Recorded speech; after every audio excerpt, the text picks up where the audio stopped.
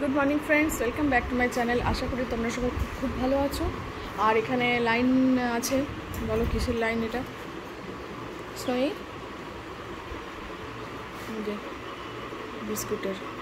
Sparky আর বিস্কুটের line মাসে কাজ করছে, ওদের হ্যাঁ বেটু সবটা এসে খেয়ে নিয়েছে। চা চা বেটু খেয়ে নিয়েছে। সাড়ে এগারোটার সময় আমাদের ব্রেকফাস্ট হচ্ছে, কারণ আজকে রুবি আসেনি। তাই যেটা পারলাম সেটা করলাম। রান্না মোটামুটি হয়ে গেছে, ডাল, পোস্ত, ডিমের ঝোল সব করলাম ভালো আর এই যে আমার আছে, দেখো ব্রেকফাস্ট ছানা ও শরবত আর স্যান্ডউইচ করে দেবো ওকে। ঠিক আছে বেটা? চল আজকে কাজ চালিয়ে তারপর দেখা যাবে রাত্রে কি করব। ছাদে এলাম, দারুণ হাওয়া দিচ্ছে। এই ছাদে আমাদের আড্ডা মনে পড়ছে। রিসেপশন পার্টি, কত এনজয় করেছি।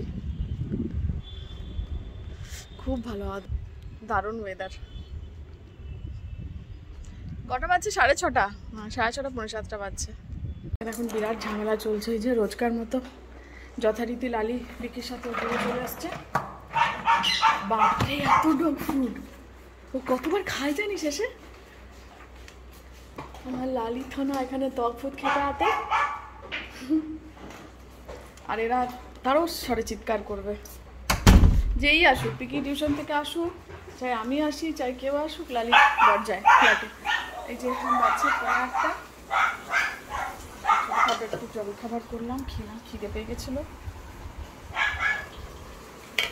টুকটাক কাজ আছে, রুটি টুটি করব। টিভি দেখতে বসবো। গ্রিন টি খাওয়াস না বেটা চেঞ্জ করে আয়। এনে আয়। আয় তুই খেয়ে।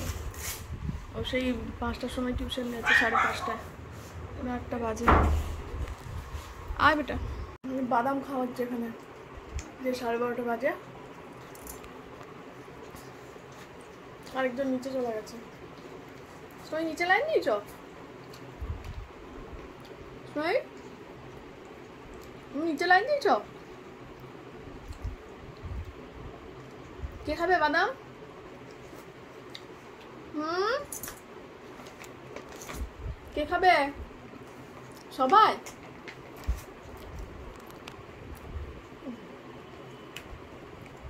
কে খাবে? জলদি বাদামটা দাও। রেগে যাচ্ছে। কেন খাচ্ছ এতগুলো? বাজে দেড়টা, তো স্মৃতি এখন একটু পড়বে। আর আজকের ব্লগ আমি এখানে শেষ করছি। যারা সাবস্ক্রাইব করনি প্লিজ সাবস্ক্রাইব করো। আর দেখতে থাকো আমার ভিডিওস গুড নাইট বাই